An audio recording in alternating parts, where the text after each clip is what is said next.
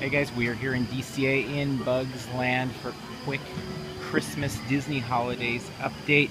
Uh, we're going to do an update series for Disney holidays, all the Christmas decoration. We are behind on it because obviously they got started really early and we've been covering all sorts of things all over the place. Uh, but we'll have a bunch of videos coming up in the next uh, week or so as we lead up to November 13th and the official kickoff of Disney holidays at the Disneyland Resort.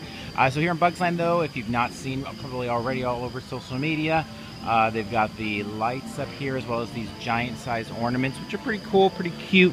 Not a ton more than that though. I don't know if there'll be any more showing up in the days or week to come. Uh, but seeing as how we are just literally uh, a week out uh, and change from the official opening, I'm guessing this is about it for Bugs Land. So we'll see. Uh, but anyway, a good start. We thought we'd start here just because that's where uh, I think a lot of the the first stuff that caught on fire on social media were these big ornaments here. So I thought we'd take a look at those and uh, move on to the next spot. So until next time, we'll see you in line somewhere.